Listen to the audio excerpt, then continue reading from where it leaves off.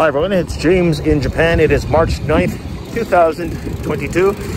I'm riding my bicycle and I'm heading to a doctor's office to get my third COVID vaccination. That's right, I'm getting my third one in about 15 minutes. This is the form. So I need to bring this form and my Kenko card, my Kenko Hoken card. I already had two Moderna shots and it's been six months since I had my last shot. I'm getting a Pfizer. I'm at the clinic. It's called Kubo Clinic. I can't record inside, most likely. I hope there are no side effects. I'll take the stairs. So I'm due to get a Pfizer.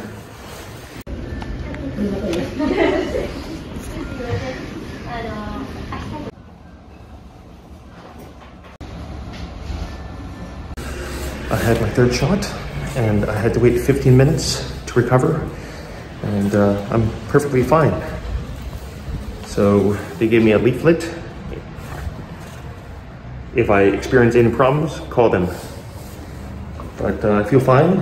I might feel some, I might feel tired or get chills or I might have a slight fever or some pain in my left arm. Those are the possible symptoms. Anyway, I'm going shopping, and that is my experience having my COVID-19 third shot. That's the booster shot. Hi guys, I'm back home and feeling fine. I rode my bicycle to the clinic and back home, and I'm not experiencing any symptoms yet. I feel fine. I had to wait 15 minutes at the office, and then return a form, and then they gave me another form. I got a certificate of vaccination for COVID-19 here. The doctor was very professional. He gave me this. He explained to me in Japanese that he's not using an expired Pfizer vaccine. He's using this number. The one with a circle next to it. Of course, I had to trust him. But he was very professional. Okay, and then, so I sat down and he just went over some procedural questions. Um, I had two Moderna shots. He just wanted to make sure that I had two Moderna shots before, and I said yes. The last one was in August, and now it's March, so I'm fine. I got a Pfizer, and here is the shot, or here's a band-aid, and you can see my Superman tattoo. So the doctor says, the doctor says, don't drink alcohol, don't lift anything too heavy.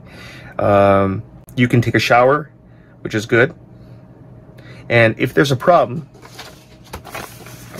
to call this number.